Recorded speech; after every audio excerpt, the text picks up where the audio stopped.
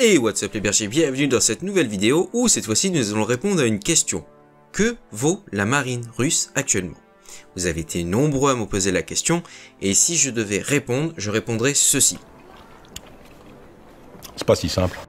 Oui, c'est loin d'être simple et c'est pour ça que j'ai fait une série de vidéos. La première que vous êtes en train de visionner concerne la flotte sous-marine. La deuxième sera sur la flotte de surface.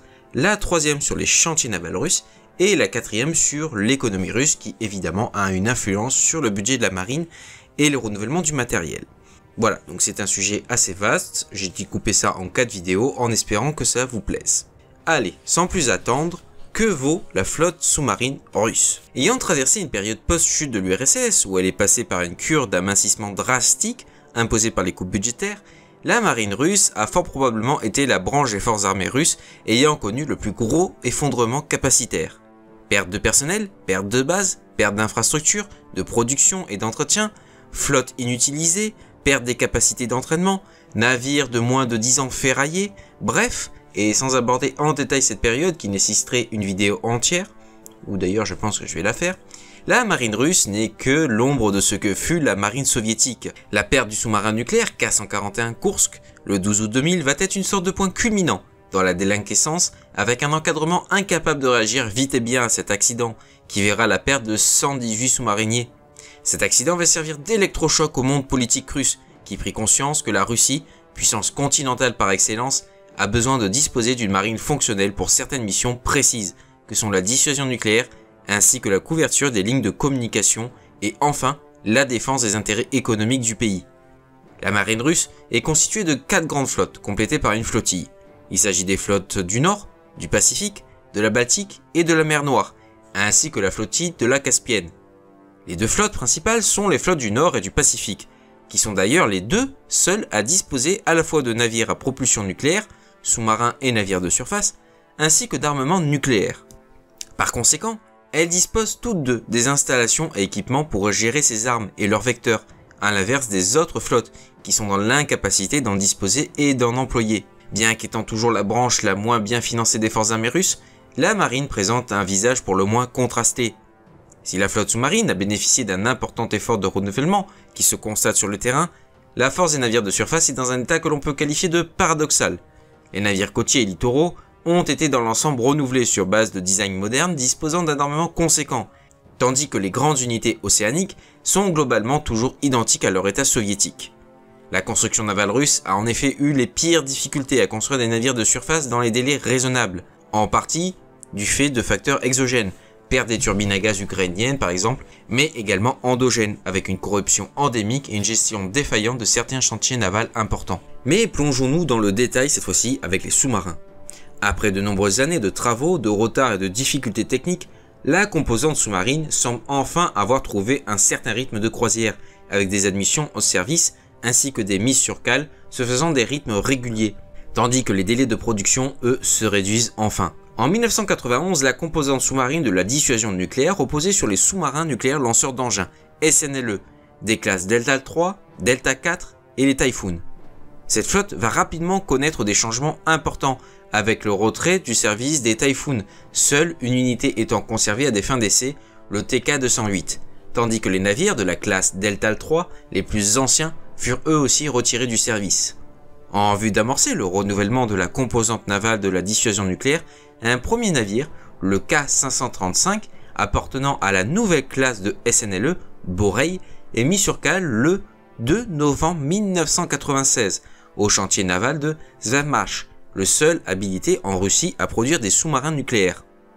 Suite à des problèmes rencontrés dans son développement, le projet de missile balistique R-39 UTTKH Bark devant équiper la classe Borei est abandonné au profit d'un nouvel engin balistique à ergol solide répondant au nom de Boulava. Après plusieurs essais de tir ratés, le missile va finalement être fiabilisé et la construction du Borei va pouvoir reprendre, mais dans une forme modifiée, l'emport passant à 16 Boulava. Trois unités de la classe Borei vont être produites et admises au service actif entre 2013 et 2014. Et évolution de la classe Borei, le Borei A conserve une dotation en armement identique tout en bénéficiant d'un important travail sur l'acoustique ainsi que sur les équipements embarqués. Deux Borei A, les K549 et K552, sont en service, complétés par 5 autres unités à divers stades de construction, leur mise en service étant prévue entre 2022 et 2027. À terme, ils seront les seuls SNLE russes en service, les bâtiments étant répartis entre les flottes du Nord et du Pacifique. Leur arrivée permettra aussi le retrait du dernier Delta 3 ainsi que des 5 derniers Delta 4, au plus tard à l'horizon 2030. Les sous-marins polyvalents de la classe Yasen, destinés à assurer la relève des sous-marins des classes Oscar II et des Typhoon, furent les premiers à déployer des cellules de lancement verticales, des dérivés des UK-SK équipant les navires de surface, avec la possibilité d'emporter 32 missiles de croisière calibre Onisk et à terme le Tsirkon. La tête de série, le K560, est mis sur cale en 1993, mais ne rejoint le service qu'en 2014 au sein de la flotte du Nord. Vu l'évolution des technologies, les ingénieurs vont également développer une version modernisée de la classe Yasen, le Yasen M.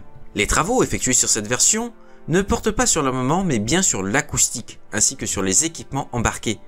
Le premier navire à ce standard, le K561, a été mis en service le 7000 2021 au sein de la flotte du Nord et a été suivi par un deuxième navire, le K573 pour la flotte du Pacifique. Six autres unités sont à divers stades de construction, avec des livraisons qui sont prévues entre 2022 et 2028. Outre ces deux nouvelles classes nucléaires, les ingénieurs russes développent également des programmes de modernisation pour ces deux classes principales, classes principales numériquement parlant, hein, qui sont héritées de l'URSS les sous-marins nucléaires lanceurs de missiles de croisière de la classe Oscar II ainsi que des sous-marins d'attaque de la classe Acula. Ces deux classes de navires peuvent encore être considérées comme relativement jeunes. Néanmoins, leur électronique embarquée étant complètement dépassée, deux programmes de modernisation vont être lancés, l'un pour les Antai et l'autre pour les Akula. En ce qui concerne ces derniers, le travail principal porte sur le remplacement de l'électronique embarquée, ainsi qu'un grand carénage des navires avec recharge du réacteur. La possibilité de tirer le missile de croisière calibre PL via les tubes lance-torpilles est aussi ajoutée. Les travaux vont prendre beaucoup plus de temps qu'envisagé à l'origine, et en 2022, la cible initiale de 7 navires à traiter est très loin d'être atteinte. Un seul navire, le K328 Léopard de la flotte du Nord, est actuellement aux essais et devrait revenir en service à la fin de l'année, voire 2023. Trois autres unités sont soit en cours de travaux, soit en achèvement. À l'horizon 2025, on peut donc s'attendre à voir la flotte russe disposer d'un total de 9 sous-marins, dont au moins 4, voire 5, seront utilisés au standard 971M. L'autre classe, les Oscar II, bénéficie d'un programme de modernisation beaucoup plus ambitieux, puisqu'il s'agit avant tout de remplacer le principal armement embarqué, à savoir 24 missiles anti-navires P-700 Granit, par un total de 48, certaines sources parlent même de 72, missiles de croisière calibre Onis et Tircon, les lanceurs employés prenant place dans les tubes employés par les missiles Granit.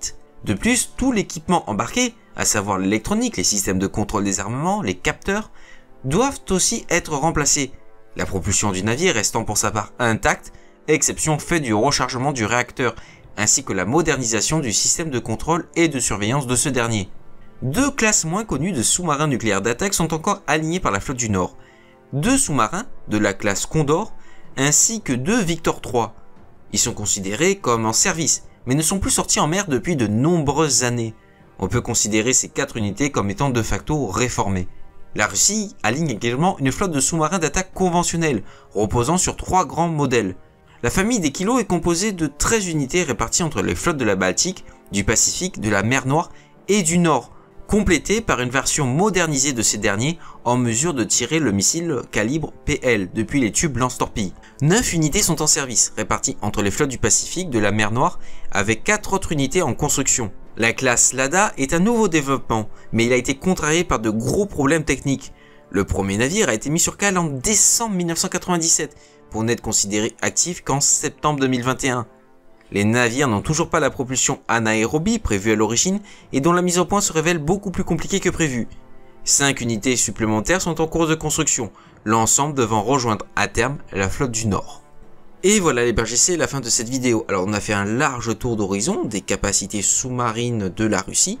Vous l'aurez compris, cette composante est en plein renouvellement avec la dotation de nouveaux matériels, etc au contraire de la flotte de surface qui, elle, par contre, vous allez le voir, est dans un piteux état. Et sur ce, n'hésitez surtout pas à vous abonner, à liker et partager la vidéo.